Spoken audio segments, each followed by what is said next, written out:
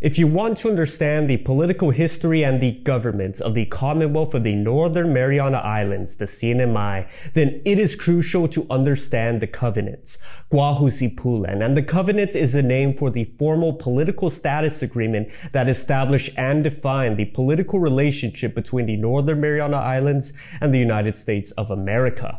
According to the section by section analysis of the covenants from the Marianas Political Status Commission, the covenant is a binding agreement, like a contract or a compact. The purpose of the covenant is to establish a commonwealth of the Northern Mariana Islands. A commonwealth is the name given to a self-governing political entity, which is closely attached to another larger political unit, such as a nation.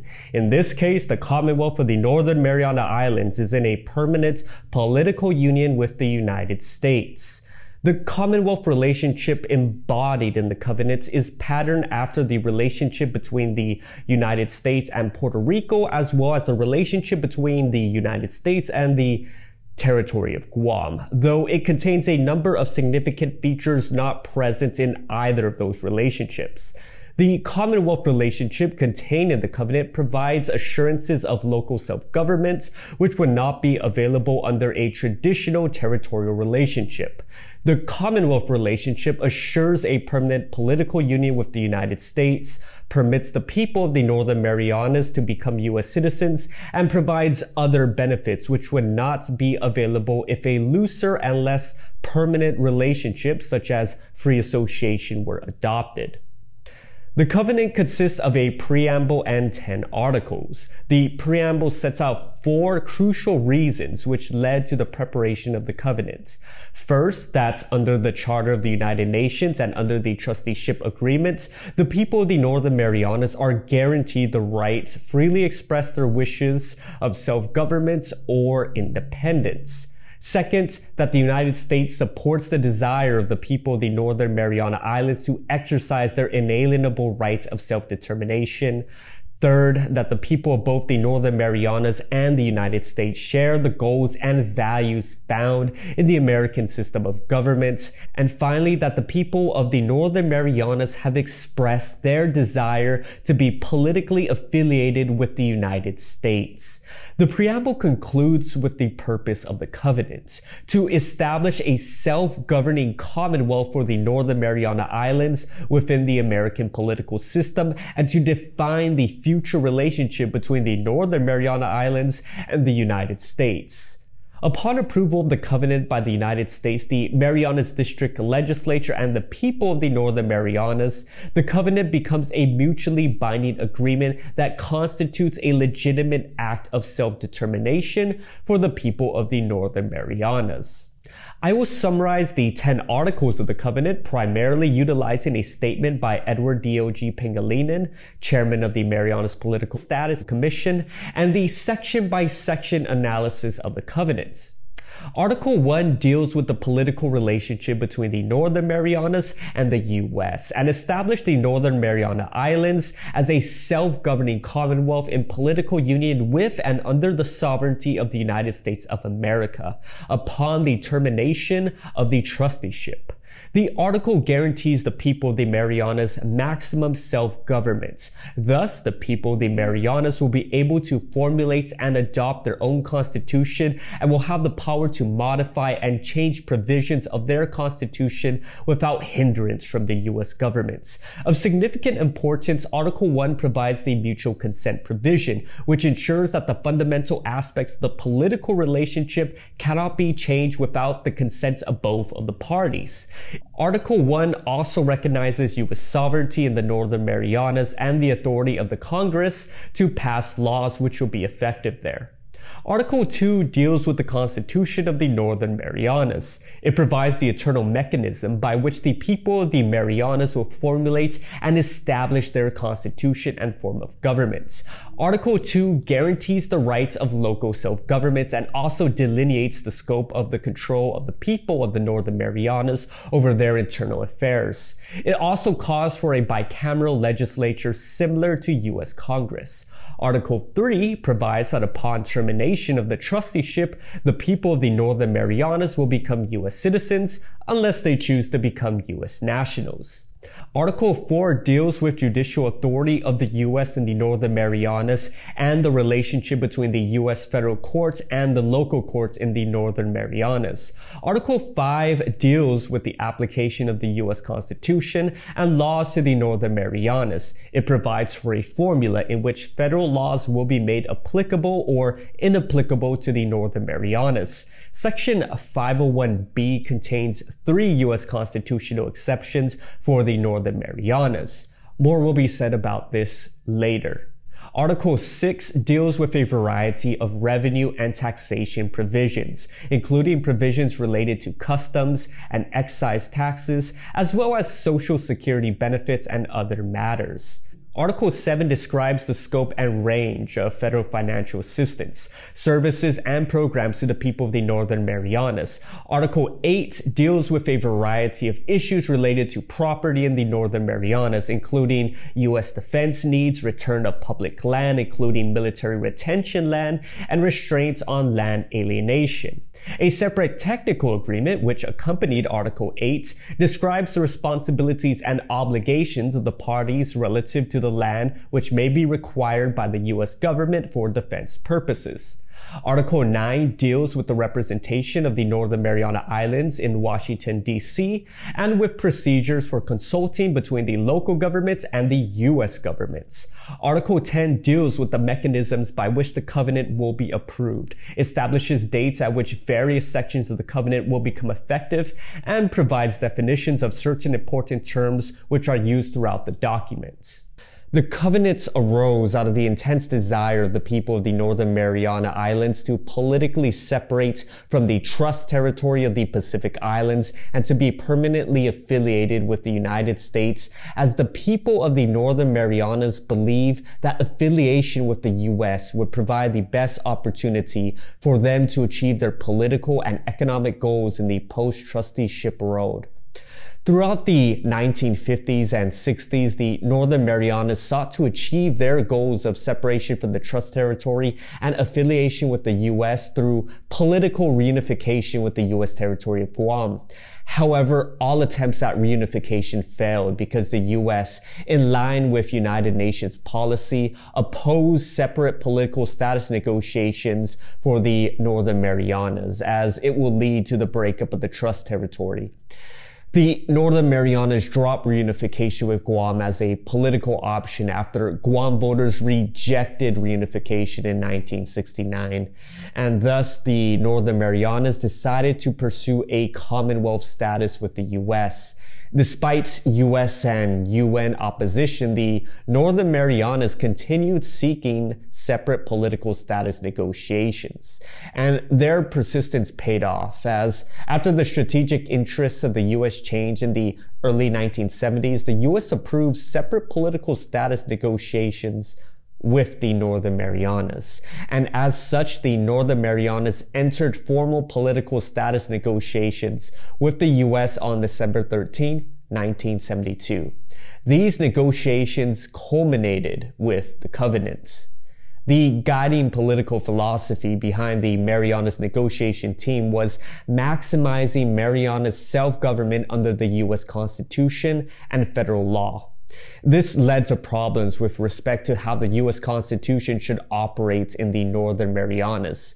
Especially concerning was Article 4, Section 3, Clause 2 of the US Constitution, otherwise known as the Territorial Clause, which gives Congress plenary powers over US territories. A major question became how to reconcile the desire of the Marianas for maximum self-government with the plenary powers of Congress. The answers that the negotiators on both sides agreed upon were the mutual consent provision and provisions with explicit exceptions to the U.S. Constitution. Mutual consent ensured that the United States cannot alter critical provisions of the covenants with the Marianas unilaterally, as the fear of the Marianas negotiators was that without mutual consent, the United States Congress could at any time interfere with Northern Mariana's self-government. Thus, mutual consent limits the application of the territorial clause and by extension, U.S. Congress's plenary power over the Northern Mariana Islands. The mutual consent provision is in section 105 of the covenant and states that, namely Article 1, 2, and 3 and section 501 and 805 may be modified only with the consent of the government of the United States and the government of the Northern Mariana Islands. Mutual consent for these specific articles and sections were critical because they contain the fundamental provisions of the covenants. For example, without mutual consent, the U.S. could revoke the self-government Commonwealth status of the CNMI that was established under Article 1 of the covenants, interfere with the CNMI Constitution in Article 2, and possibly even revoke U.S. citizenship of the people of the CNMI established under Article 3. Mutual consent for Section 501 of the Covenant is especially crucial because Section 501 deals with the application of the U.S. Constitution in the Northern Marianas. Section 501A specify the provisions of the U.S. Constitution that are applicable within the Northern Mariana Islands as if the Northern Mariana Islands were one of the several states. Section 501B makes it clear that the application of these U.S. constitutional provisions to the Northern Marianas as specified in the previous subsection A will not invalidate the power of the U.S. Congress to consent to Section 203, 506, and 805 and the proviso in subsection A of this section. These listed provisions of the covenant, namely section 203, 805, and the proviso in 501A, deal with the covenant's three explicit exceptions to the U.S. Constitution. So essentially, Section 501B guarantees that the U.S. will respect these three provisions of the covenants, which would otherwise be considered illegal and unconstitutional in U.S. legal court as Congress has consented to these exceptions. These three constitutional exception provisions were designed to address potential issues and local needs in the Northern Marianas under federal law. The first constitutional exception, Section 203, allowed the upper house of the Northern Marianas bicameral legislature to be based on factors other than population. And this was to give the much less populous islands of Rota and Tinian equal representation in the upper house as the people of Rota and Tinian feared domination by the much more populous Saipan if the entire Northern Marianas legislature was based strictly on population size. In practice, this meant that all three islands got three representatives in the upper house, despite Rota and Tinian having far less people than Saipan.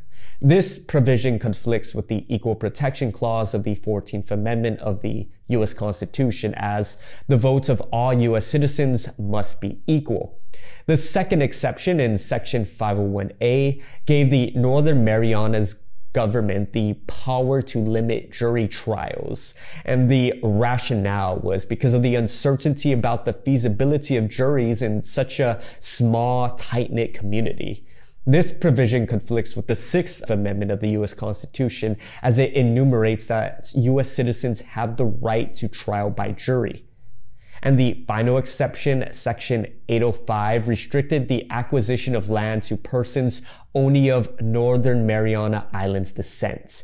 The rationale is because of the importance of the ownership of land for the culture and traditions of the people of the Northern Mariana Islands, and in order to protect them against exploitation and to promote their economic advancement and self-sufficiency. They saw the negative effects of land loss to foreigners in Guam and Hawaii and wanted to avoid this in the Northern Marianas. This provision conflicts with the Equal Protection Clause of the 14th Amendment of the U.S. Constitution as the acquisition of land cannot be restricted to certain groups.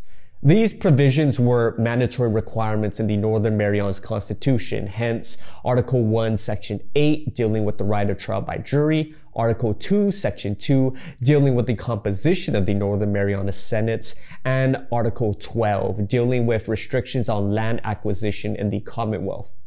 These provisions in the Northern Marianas Constitution are legally protected by the covenants and have been challenged in federal courts. And each time the courts have upheld these provisions. The question you're probably thinking is why did the US agree to these constitutional exceptions as well as mutual consents? The reason was because as the administering power under the trusteeship system, the US did not possess sovereignty over the Northern Marianas. As the administering power, the US was obligated under international law to respect the rights of self-determination for the people of the Trust Territory of the Pacific, which includes the Northern Marianas. If the US wanted sovereignty over the Northern Marianas once the trusteeship ends, the US would have to persuade the Northern Marianas to accept US sovereignty. And this required the US negotiators to meet the critical terms of the Northern Marianas. And these critical terms are the ones listed in Section 501B. The sections specified in Section 501B are an integral part of the agreement defining the political relationship between the Northern Mariana Islands and the United States. The drafters of the covenant noted that without these provisions, the accession of the Northern Mariana Islands to the United States would not have been possible. The covenant was negotiated over the course of 27 months from December 1972 to February 1975. Once negotiations were finished, the proposed covenant was signed by the negotiators on February 15, 1975 in Saipan. And five days later, the Marianas District Legislature unanimously approved the covenant. And it was put in submission to the people in a plebiscite. On June 17, 1975, the people of the Northern Mariana Islands overwhelmingly approved the covenants, with 78.8% of eligible voters voting in favor of the covenants. Then the U.S. Congress approved Joint Resolution 549, the Covenant Bill, titled Covenant to Establish a Commonwealth for the Northern Mariana Islands in Political Union with the United States of America. And on March 24, 1976, US President Gerald Ford signed the Covenant Bill, which thereupon became Public Law 94-241. Through the approval and implementation of the covenant, the people of the Northern Marianas have freely exercised their rights of self-determination and subsequently removed from the United Nations list of non-self-governing territories. If you liked and enjoyed the video, consider supporting me on Patreon so I can continue to produce more Pacific Studies content. Like this video, subscribe to the channel, turn on all notifications, follow me on social media, and a special Si Yu'os Ma'åse' to Patreon supporters Puti'on and Pim Limtiaco. Seduce Masi for watching Guahu si Pulan and Pulen has spoken. Esta.